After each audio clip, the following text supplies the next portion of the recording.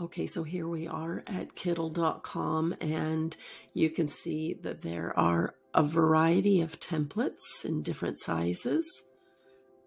Some are squares, some are more vertical.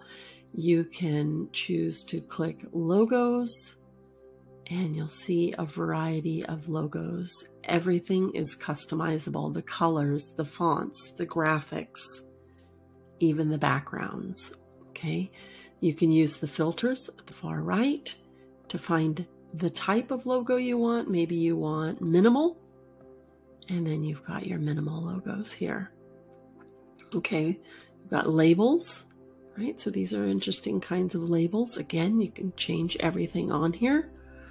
And the ones I like often are the t-shirts some amazing designs in here, some really good designers, and they've broken it down into categories. You can check the featured ones and you can see what's trending.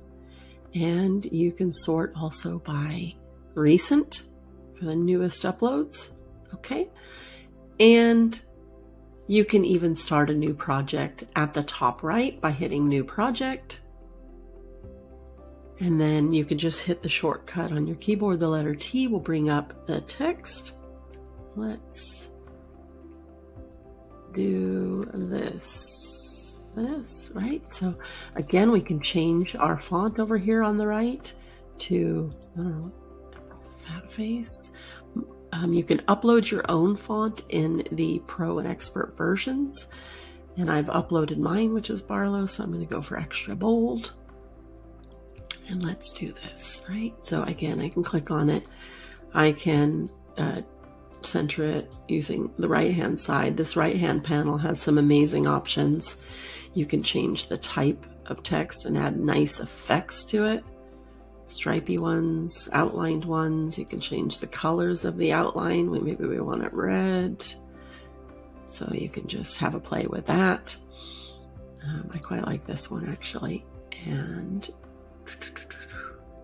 you can use the left hand panel to add some elements to it. So there's all kinds of elements here, badges, panels, components, or you can type in something like beach, for instance, and you're going to get some beach stuff. So we can add a wave to our design.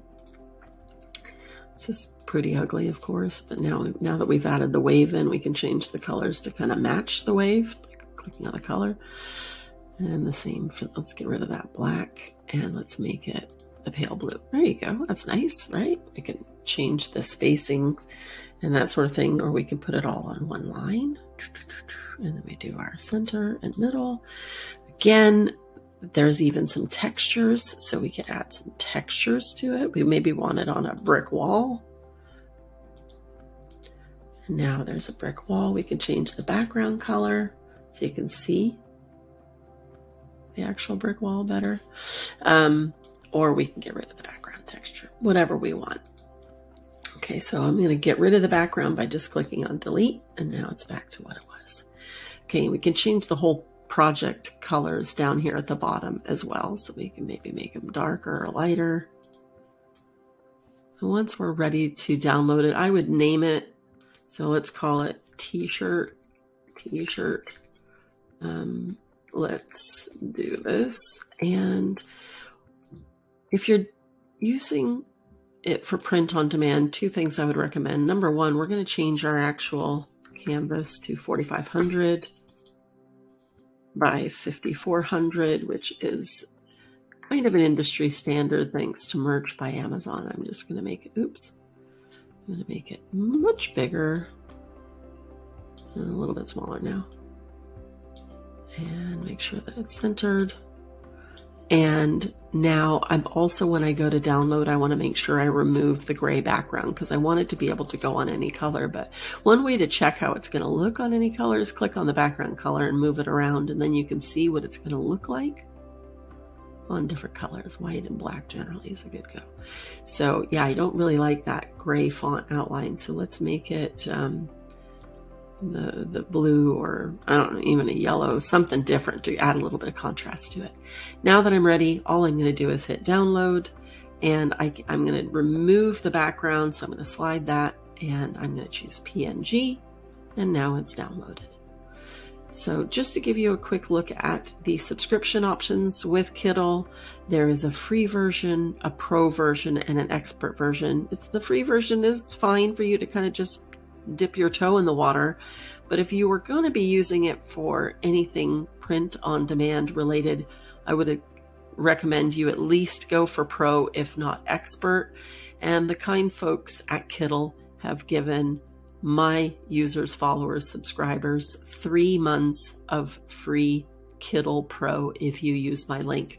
Now, this wasn't a full on tutorial. I would recommend that you follow the Kittl YouTube channel because Drew especially does all kinds of fantastic tutorials on really how to use Kittl in amazing different ways. And he does it way better than I could. So, so I'm just going to recommend that you follow Kittl on YouTube to, to make sure that you get those in-depth Kittl tutorials. They're awesome. This was just a brief introduction to kind of show you around the tool. I absolutely love it.